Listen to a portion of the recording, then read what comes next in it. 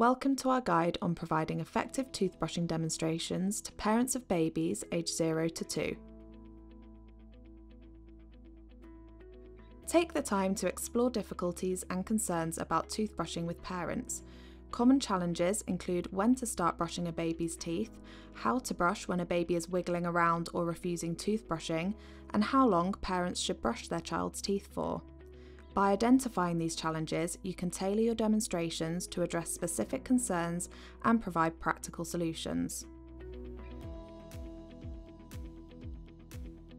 Use a small child's toothbrush and start brushing as soon as the first tooth comes into the mouth.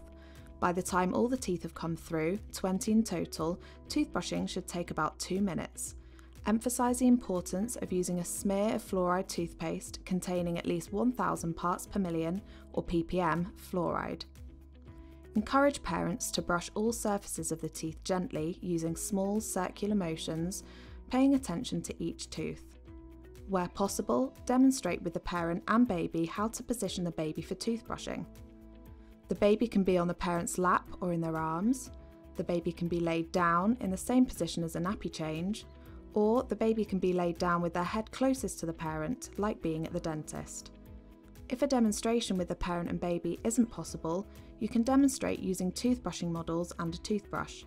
This can be really useful to help point out all the different tooth surfaces that need to be brushed, including the outside, inside, and grooves or biting surfaces of the teeth.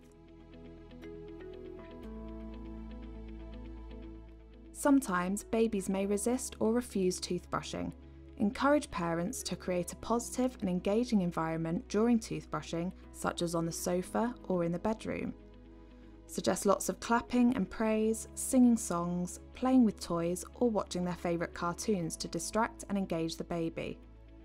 Reinforce that some toothbrushing is better than none and remind them that they are not alone.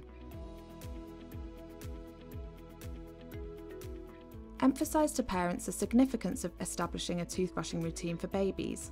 Highlight the recommended frequency of brushing, twice a day, lasting before bedtime and at one other convenient time during the day.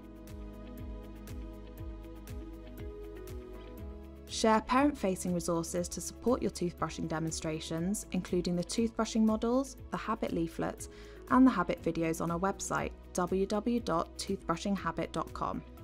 Goal setting and creating action plans have been shown to be an effective tool in supporting behaviour change.